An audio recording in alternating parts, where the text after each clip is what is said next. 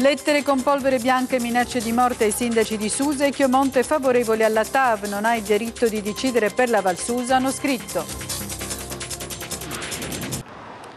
Tre buste contenenti minacce ed una polvere sospetta sono state recapitate in Val di Susa a due sindaci favorevoli alla TAV e alla Presidente dell'Ascom. In isolamento quattro persone entrate in contatto con la polvere, solidarietà e indignazione dal mondo politico.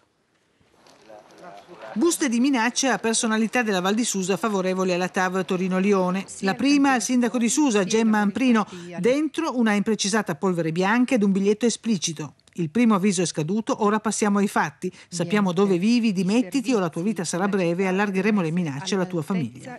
Un'altra busta analoga alla presidente dell'Ascom, proprietaria di un hotel dove alloggiano spesso forze dell'ordine e dipendenti del cantiere. La terza al sindaco di Chiomonte, Renzo Pinar, che invece, preavvertito dai carabinieri, non ha aperto la missiva. Io non mi lascio intimidire, ho sacrificato tanto, ho sacrificato la mia famiglia, il mio lavoro, la mia persona questo, per fare in modo che quest'opera iniziasse. Immediato l'intervento dei carabinieri e dei vigili del fuoco che hanno isolato locali e persone venute in contatto con la polverina che sarà identificata entro stasera. Solidarietà dal mondo politico e istituzionale. Il sindaco di Torino Fassino parla di un copione indegno e vile. Il PD denuncia il clima di fanatismo e di intolleranza. Picchetto e Napoli del PDL chiedono guardia alta contro i violenti e risposta ferma della politica. Locatelli di Rifondazione parla di provocazione per sporcare le ragioni notabili.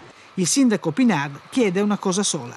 Che lo Stato mantenga, cominci a far vedere che mantiene le promesse fatte sulla Val di Susa. Noi dobbiamo creare dei posti di lavoro in valle e questo lo dobbiamo avere subito, ma proprio per isolare questi passi che scrivono queste lettere.